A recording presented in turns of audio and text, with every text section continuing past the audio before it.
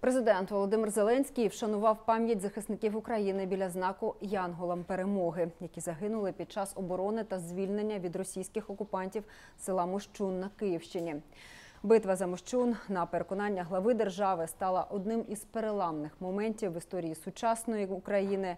Окупанти тричі намагалися здійснити у селі переправу основних сил і прорватися на Київ. Та зрештою, українські військові відтіснили ворога та змусили його відступити. Сьогодні тим подіям, а саме перемозі українських військових над росіянами, виповнюється рівно два роки. Кореспондент ТСН Сергій Мургун розкаже, як живе Мощун нині і боровся тоді. Мощун невеличке село, що оточене лісом та поймою річки Ірпінь. З висоти попри зиму здається затишним, а із землі гнітючим. Ці кадри зроблені у перші дні після звільнення Мощуна. Повсюду руїни, спалена техніка, тіла окупантів та домашні тварини, які уціліли. Єдиною людиною, яку наприкінці березня 2022-го тут застали наші солдати, була пані Лідія. Вона не виїжджала. Як ви тут оце вижили? Мовчки у погребі. Виходила лише готувати їсти і гасити пожежі після прильотів, чим вберегла свою і деякі сусідні хати, ті, які змогла. А це вже пані Лідія сьогодні саме повертається з магазину. Хліба я б купила. Каже, хто міг у селі, то ремонтувався сам. Їй вікна поставили волонтери, а посічений осколками дах ще не міняли, хоч держкомісія і була. А он криша, оця побита. То от снігу, так мені сказали. Чому відновлення села за два роки не дуже то й видно, не знає, бо саме таке враження складається, коли проїхатися вулицею. Кадри дуже нагадують ті, що ми фільмували і після звільнення Мощуна.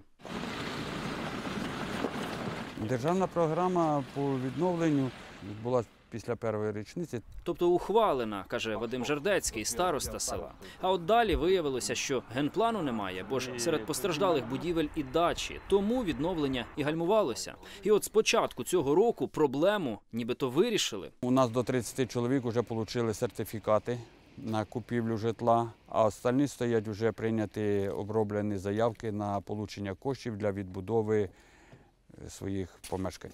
Масштаби руйнувань такі, що із 470 будинків жодного без пошкоджень, а від половини залишився тільки фундамент. У Мощуні були одні із найзапекліших боїв під час оборони Києва. Тут росіяни намагалися обійти українських військових, об яких поламали зуби в Ірпені, біля Бучі і поблизу Гостомеля.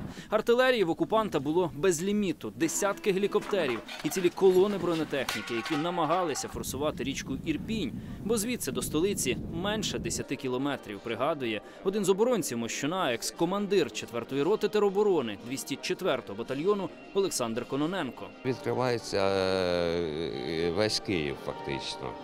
Вони пішли сюди, якщо лівіше, вони вже в Вишгороді, пішли на оболонь.